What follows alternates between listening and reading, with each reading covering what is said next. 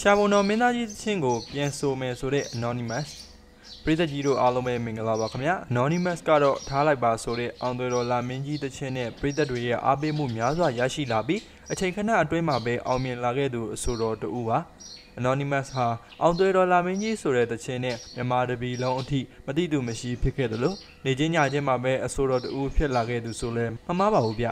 နယ်ပရိသတ်တွေရဲ့အားပေးလက်ခံမှုအပြည့်အဝရရှိထားသူ anonymous ဟာအခုခါမှာတော့တကြံမင်းသားကြီးဇော်ဝမ်းရဲ့ရှားပုံတော်မင်းသားကြီးတခြားသောတကြံမိုးစတဲ့တခိတခါကပရိသတ်တွေရင်ထဲဆွဲပြီးအောင်မြင်ခဲ့တဲ့တကြံသချင်းများစွာကိုပြန်လည်တည်ဆိုနေပြီးပရိသတ်တွေထံကိုချပြပေးတော့မယ်လို့သူ့ရဲ့အင်တာဗျူးတစ်ခုကနေပြီးတော့အသိပေးလာခဲ့တာပဲဖြစ်ပါတယ်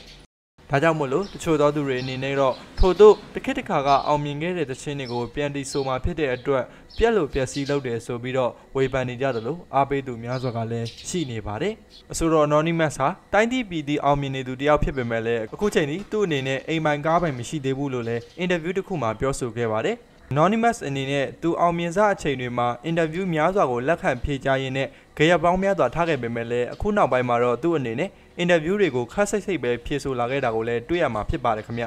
ဟုတ်ကဲ့ပါခင်ဗျပရိသတ်ကြီးတို့အနေနဲ့က anonymous အပေါ်မှာဘယ်လိုများထင်မြင်ချက်တွေကိုသုံးသက်ဝေဖန်မှတ်ချက်ပေးကြတယ်လဲဗျပရိသတ်ကြီးတို့ရဲ့မှတ်ချက်တွေကိုလည်းဒီဗီဒီယိုလေးရဲ့ comment မှာရေးပေးသွားနိုင်ပါတယ်တယ်လက်စာထဲမှာပဲကျွန်တော်တို့ရဲ့ channel လေးကိုပရိသတ်ကြီးတို့အနေနဲ့ subscribe မလုပ်ရသေးဘူးဆိုရင်တော့ subscribe လေးလုပ်ပေးခဲ့ဖို့အတွက်တောင်းဆိုပါရစေခင်ဗျ